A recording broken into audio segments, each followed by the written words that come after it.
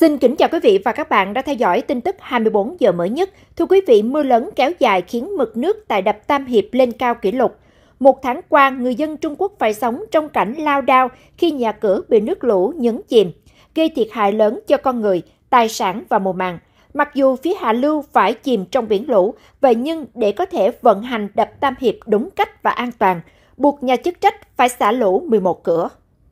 Quyết định bất khả kháng này khiến hàng triệu người dân ở trong tình thế ngồi trên đống lửa. Siêu đập Tam Hiệp tiếp tục xả lũ 11 cửa. Theo đó, người dân sống dọc sông Dương Tử, đặc biệt là khu vực tỉnh Hồ Bắc đang phải đối mặt với nguy cơ lũ lụt nghiêm trọng sau khi đập Tam Hiệp xả lũ 11 cửa.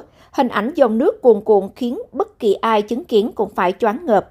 Quyết định xả lũ được đưa ra trong bối cảnh mực nước tại hồ chứa Tam Hiệp đã lên đến mức báo động, đe dọa nghiêm trọng đến an toàn của con đập lớn nhất thế giới này. Bà Vương ở Kinh Châu, Hồ Bắc bức xúc cho hay, nghe nói họ mở 11 cửa xả lũ, người dân hạ du chúng tôi, giờ như cá nằm trên thớt, lúc nào cũng nơm nớp lo sợ. Từ đầu tháng 5 năm 2024, trong mùa bão lũ năm 2024, Trung Quốc cũng đã ra cảnh báo lũ lụt nghiêm trọng ở Trung và Hạ Lưu sông Dương Tử. Việc xả lũ Tam Hiệp luôn là bài toán nan giải. Nếu không xả, nguy cơ vỡ đập là rất lớn, ảnh hưởng đến hàng triệu người dân vùng Thượng Du. Nhưng khi xả lũ, người dân Hà Du lại phải gánh chịu hậu quả. Những ngày qua, mưa lớn liên tục tại thượng nguồn sông Dương Tử khiến mực nước tại hồ chứa Tam Hiệp tăng cao nhanh chóng. Theo một kỹ sư cho biết, các kỹ sư của đập Tam Hiệp đang phải đối mặt với áp lực cực lớn.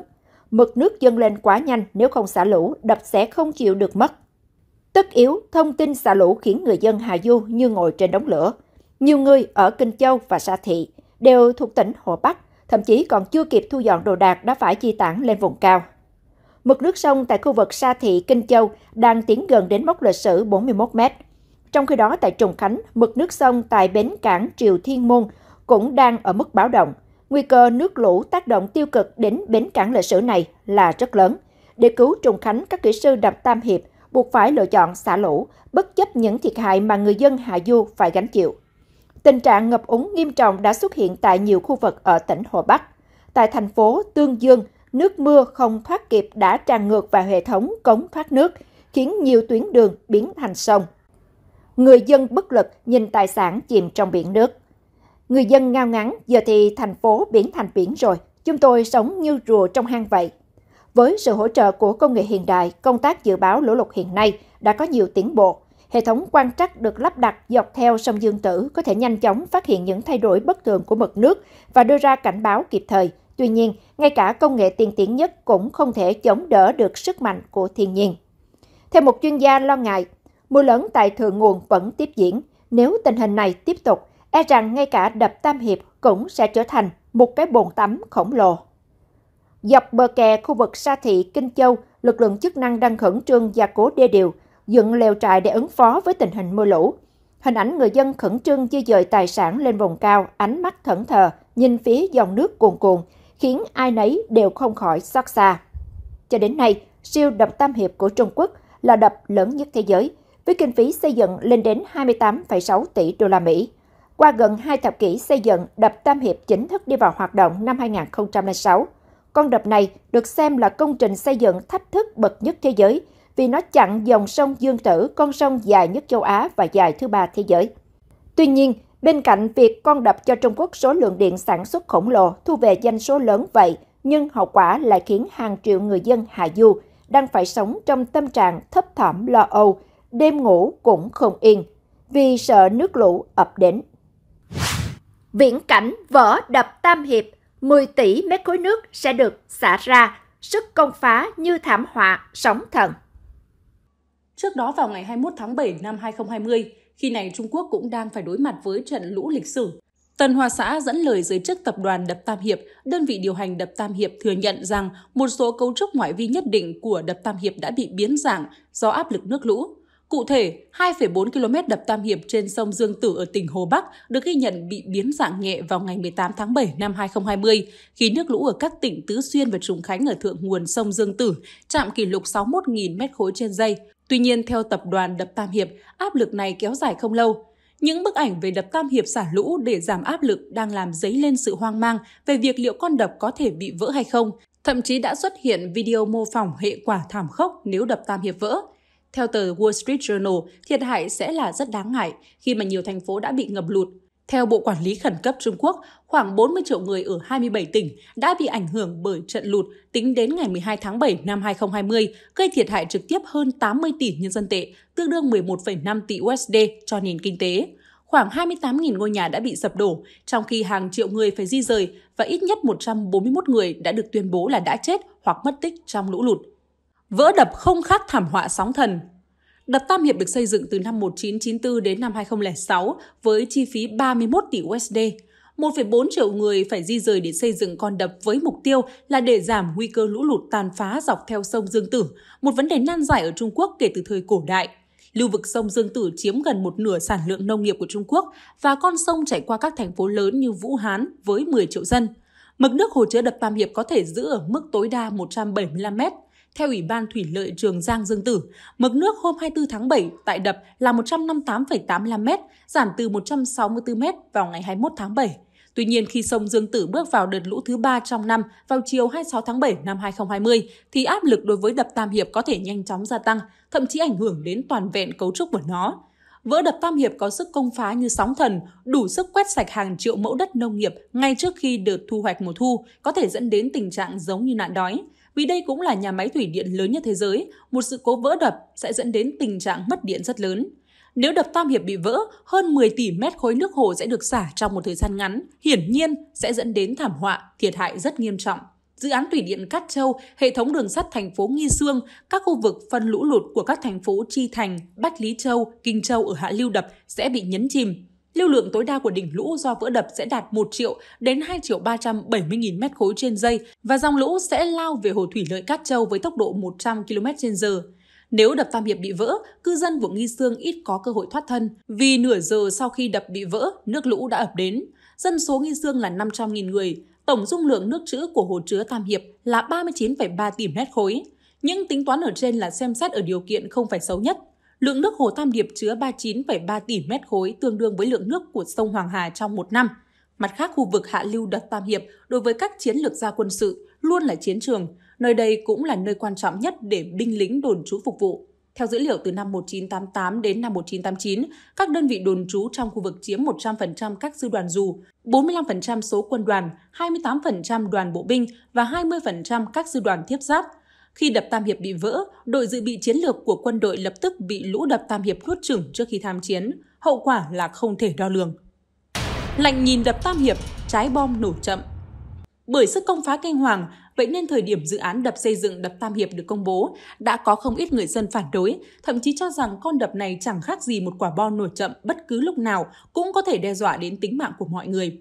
Trong số những người lên tiếng phản đối việc thực hiện dự án Tam Điệp, mạng xã hội Trung Quốc hiện nay nhắc nhiều đến hai cái tên Hoàng Vạn Lý và Lý Duệ. Hoàng Vạn Lý sinh năm 1911, mất năm 2001, là chuyên gia kỹ thuật thủy lợi nổi tiếng ở Trung Quốc, giáo sư tại Đại học Thanh Hoa, tốt nghiệp Đại học Giao thông Đường Sơn. Hoàng Vạn Lý là người Trung Quốc đầu tiên đỗ tiến sĩ trường Đại học Illinois của Mỹ. Có bốn lý do để Hoàng Vạn Lý phản đối việc xây dựng dự án đập Tam Hiệp. Những lý do đó được ông làm rõ trong ba lá thư gửi cho ông Giang Trạch Dân. Lý do đầu tiên ấy là thượng du sông Dương Tử. Lòng sông được bồi đắp chủ yếu là sỏi, không phải là trầm tích. Sau khi đập được xây dựng thì một hòn sỏi cũng không thể thải xuống hạ lưu. Trong vòng 10 năm có thể lấp kín cảng sông Trùng Khánh và không ngừng lấn ngược về phía thượng lưu. Mùa lũ có thể nhấn chìm cả giải Giang Tân Hợp Xuyên. Trong khi đó báo cáo thiết kế được tính toán theo điều kiện không có sự bồi đắp của sỏi, mô hình thử nghiệm lại lấy chất liệu trầm tích tạo làm sông. Lý do thứ hai, Trung Quốc có nguồn tài nguyên nước dồi dào, được phân bổ thích hợp cả về không gian và thời gian, xem xét trên toàn cầu phải xếp thứ nhất.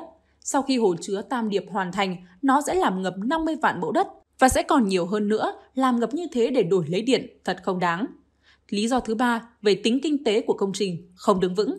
Nếu tính giá thành sản xuất mỗi kW điện thì điện Tam Hiệp đắt hơn từ 2 đến 3 lần so với xây dựng các nhà máy điện cỡ trung và cỡ lớn ở vùng núi. Lý do thứ tư, hồ chứa Tam Hiệp có một số trợ giúp trong việc kiểm soát lũ ở trung lưu và hạ lưu sông Dương Tử, nhưng tác dụng không lớn. Người thứ hai phản đối mạnh mẽ dự án Tam Hiệp là Lý Duệ. Lý Duệ sinh năm 1917, mất năm 2019, người tỉnh Hồ Nam, tốt nghiệp Đại học Cơ khí Vũ Hán, từng là thư ký của các ông Cao Cương, Trần Vân và Mao Trạch Đông, về hưu với chức vụ Phó ban Tổ chức Trung ương, hưởng đãi ngộ như Bộ trưởng. Lý do phản đối của ông là xây dựng đập này quá tốn kém. Ông cũng nhấn mạnh rằng đập nước sẽ làm ngập lụt nhiều thành thị và đất nông nghiệp màu mỡ, làm cho các lưu vực trung và hạ lưu sông Dương Tử bị ngập lụt, không giúp ích nhiều cho vận tải thủy. Khi Quốc hội Trung Quốc thông qua dự án với số phiếu phản đối lên tới 1 phần 3, Lý Duệ dặn con cháu, các người phải nhớ, Lý Duệ phản đối dự án Tam Hiệp cho đến chết. Lưu vực sông Dương Tử vốn là khu vực giàu có nhất tại Trung Quốc, nuôi sống hơn 400 triệu người. Đập Tam Hiệp đã chứng minh là phá hủy toàn bộ hệ thống sinh thái và vận chuyển của sông Dương Tử. Kể từ khi xây dựng đập Tam Hiệp, khí hậu bất thường đã xảy ra hàng năm ở trung và hạ lưu sông Dương Tử, thảm họa thường xuyên xảy ra. Hàng triệu người chuyển cư mất đất canh tác không có việc làm, không có tương lai gây ra cho một cuộc khủng hoảng xã hội lớn. Ô nhiễm nước, động đất do hồ chứa, mực nước dâng cao gây ra lở đất và sụp đổ mở rộng các khu vực ngập nước, hồ chứa, hạn chế vận chuyển sông Dương Tử, làm biến mất các di tích lịch sử, cái chết của động vật và thực vật quý hiếm đã gây ra nhiều thảm họa sinh thái. Các nhà môi trường cảnh báo đập Tam Hiệp làm giảm dòng chảy phù sa của sông Dương Tử đến 50%. Nó cũng tác động nghiêm trọng đến hệ sinh thái ven sông và ven biển. Thiên nhiên luôn luôn vĩ đại, những người đề xướng nhân định thắng thiên, muốn dùng ý chí và sức người xếp đặt lại thiên nhiên vĩ đại cũng là kiểu người như Đông Quixote mà thôi. Trái bom nổ chậm, các vị lãnh đạo Đặng Tiểu Bình, Giang Trạch Dân, Lý Bằng quyết định thực hiện dự án đập Tam Hiệp, không tin rằng có ai đó trên thế giới dám tấn công Tam Hiệp. Lý do đầu tiên là đập Tam Hiệp được làm cực kỳ vững chắc, tên lửa của NATO không thể phá nổi. 2. Chiến tranh có thể dự liệu được. 3. Mọi người đều sợ chiến tranh cực đoan, đặc biệt là phương Tây. Nhưng đập Tam Hiệp có một số điểm yếu chết người. Nó khác với cấu trúc của nhiều đập trọng lực bê tông trên thế giới, với 26 ống dẫn nước của máy phát điện, cũng như nhiều ống xả lũ và ống xả cát được lắp đặt trong đập. Đường kính của các ống thoát phải đủ lớn để bảo đảm công suất xả lũ là 110.000 mét khối mỗi giây. Nói một cách hình tượng, đập Tam Hiệp giống như một miếng phô mai Hà Lan có nhiều lỗ, tính vững chắc kém. Ngoài ra đập Tam Hiệp có 3 máng với độ sâu 55 m và chiều rộng 34 m, một cho thang máy nâng tàu và hai cho âu giữ tàu. Ba máng sâu này chỉ sử dụng một lớp thép tấm che đỡ. Một khi lớp thép tấm này bị nổ tung, nó có thể gây ra tác động tương tự như vỡ đập. Có người ví von nền kinh tế Trung Quốc đại lục như cây cung và mũi tên. Cây cung kinh tế là khu vực ven biển, mũi tên là bình nguyên sông Dương Tử. Một khi vùng trung lưu và hạ lưu của sông Dương Tử phải hứng chịu thảm họa vỡ đập Tam Hiệp, cung tên sẽ không còn. Thưa quý vị, với cuộc khủng hoảng biến đổi khí hậu dự kiến sẽ gây ra lũ lụt nặng hơn, thường xuyên hơn, một số chuyên gia cho rằng Trung Quốc sẽ buộc phải tìm giải pháp mới cho các thế hệ tương lai. Câu hỏi đặt ra là liệu đập Tam Hiệp có đảm nhiệm được vai trò là đập thủy điện lớn nhất thế giới hay không? Nó có thể chứa nước và điều tiết mực nước lũ để không nguy hại đến cuộc sống của người dân hay không? Câu trả lời chỉ có thể chờ thời gian, bởi mỗi một đợt lũ giống như một bài kiểm tra về sức bền của con đập có một điều chắc chắn rằng chính phủ Trung Quốc sẽ không để dòng lũ tức nước vỡ bờ. Mọi thông tin liên quan sẽ được chúng tôi liên tục cập nhật. Cảm ơn quý vị đã quan tâm theo dõi. Còn bây giờ xin kính chào và hẹn gặp lại.